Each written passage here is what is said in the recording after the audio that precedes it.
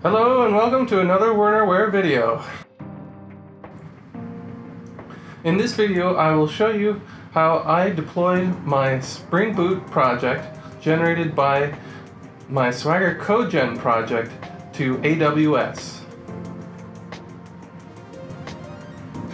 We need to create an artifact and an environment in which we can deploy a system worthy of production. This means following the instructions pictured here for Spring Boot applications. And the first step is to create a fully executable jar.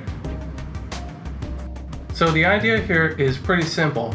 Up until this point, we've been saying java-jar and then the name of our jar to run it.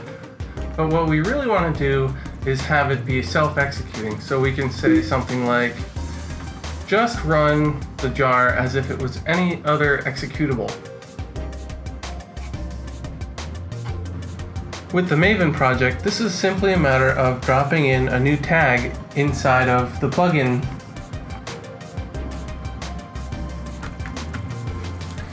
A configuration of executable set to true. Then we rebuild the artifact and you'll find that it is executable.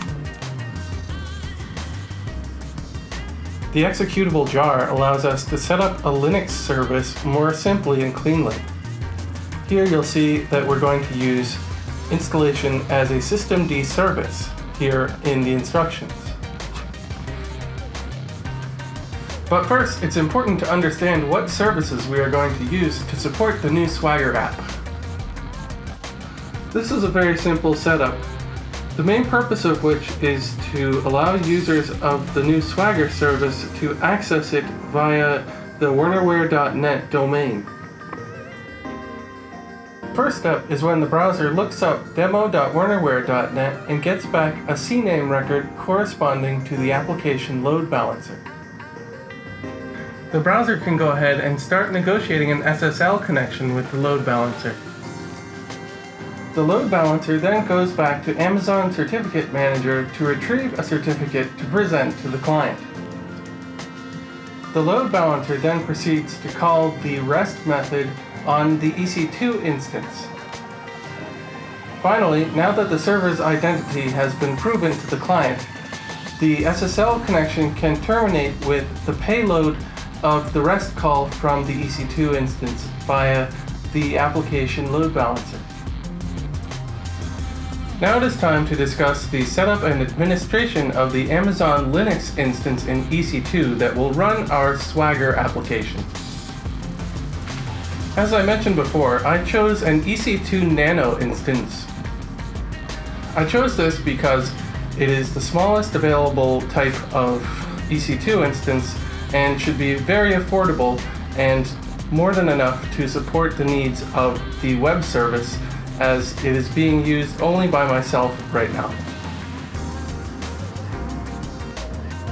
There are a few things we have to do in the Amazon Linux OS before we can deploy the service. First, we need to get the jar onto the EC2 instance via S3. Then we need to copy the jar to var slash swaggerfun. Then we're going to create a Linux user in order to run the app, because it should not be the root user that is running the jar. Then we're going to assign ownership of the jar file to the new user, and we will create a new service description. We will enable that service description, and finally, we will start the service. I'm going to create a new EC2 instance to show you how this process works from scratch. I will add it to the same VPC and apply the same security group, which allows port 8080 and my SSH session.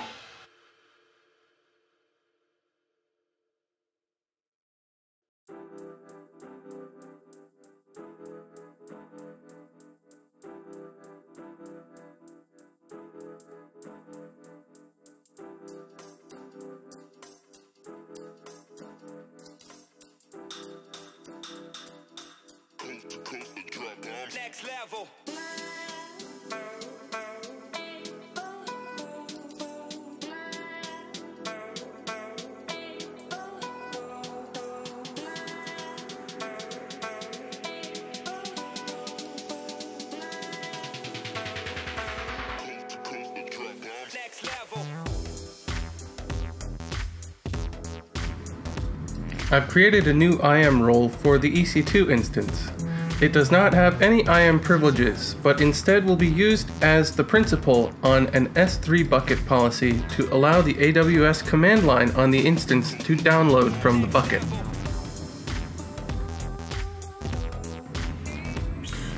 Here is the control page for the bucket.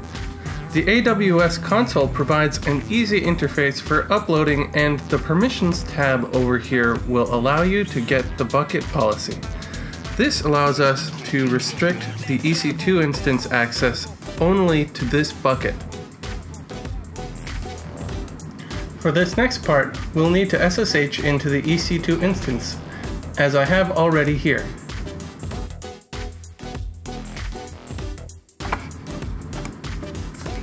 So first, we're going to check out what objects are available to the EC2 instance in S3 with a AWS S3 API list objects bucket of Wernerware Swagger upload.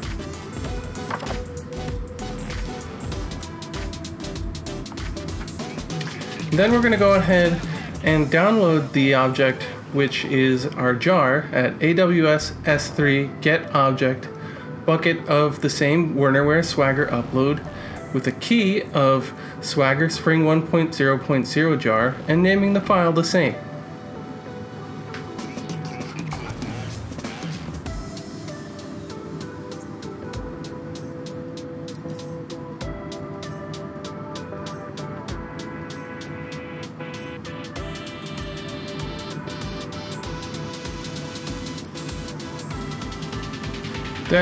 We'll do a quick ls to check out our file.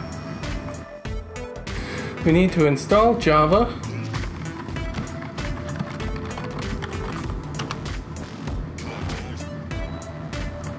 Let's go ahead and give it permission to download it, what it needs.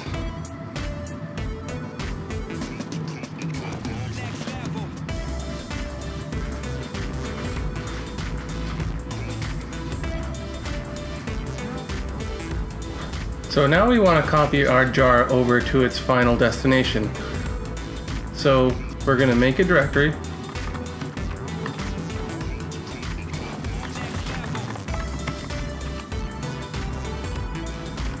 Guess we're going to need sudo on that. Then we're going to copy the, the jar over.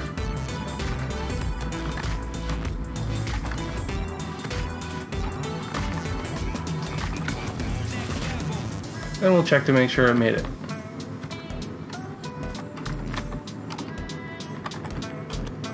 And it did.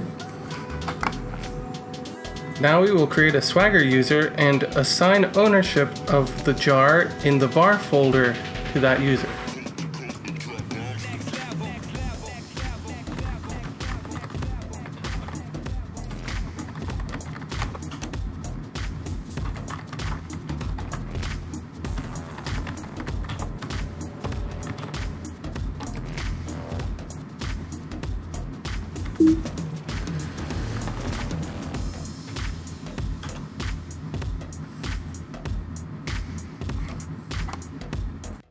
Now we're going to go ahead and create our service description.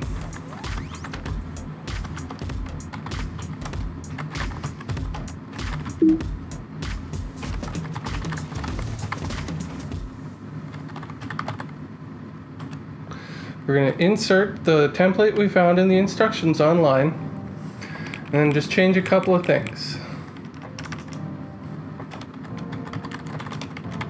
Change the service description and we'll change the location of the jar.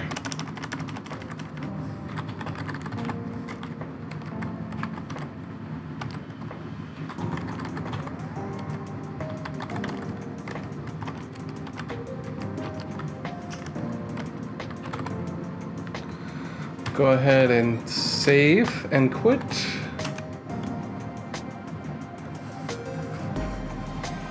Actually, we need to go back and do one more thing.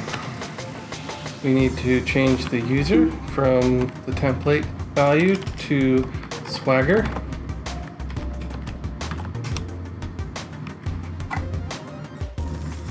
We can enable the new service with a call to system control.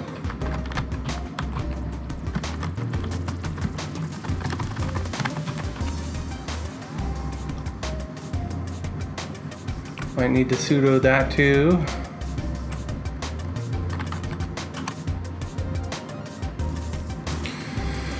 We'll need to set the execution permission on the jar.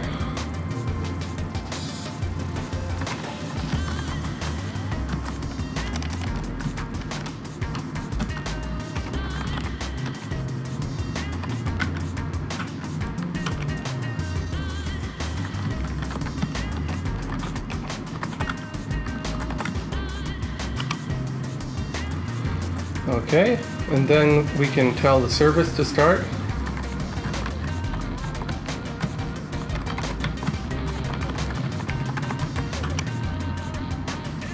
Need to sudo that. Then we can do a top. And we'll see that we have a Java process running with the Swagger user.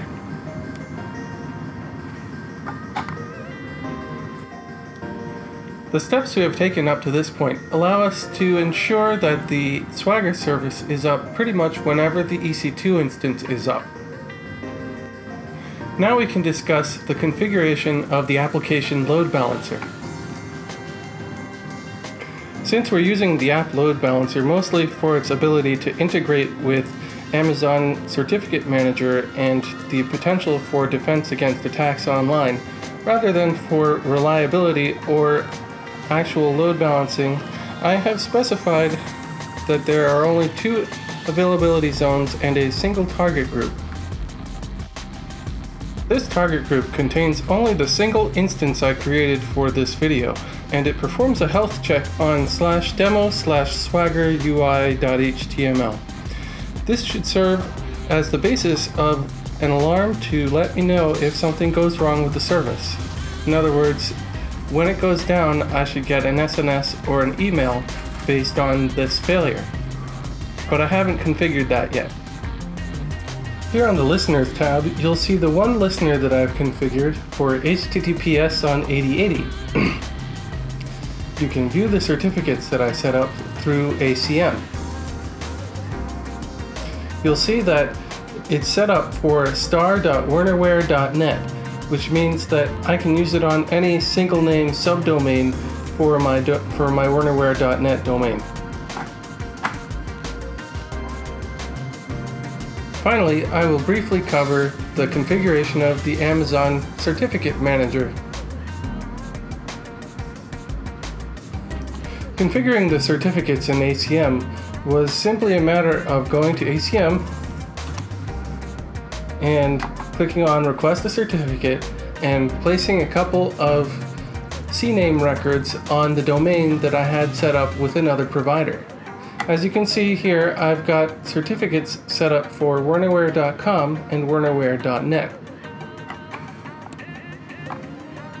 And now, putting it all together, we can navigate to https colon slash slash demo.wernerware.net 8080 demo slash swaggerui.html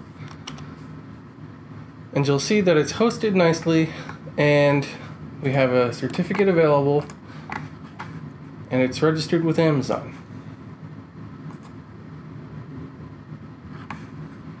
Please see the links in the descriptions for more particulars on this service that I have deployed. Thanks for watching and hope to see you on the next video.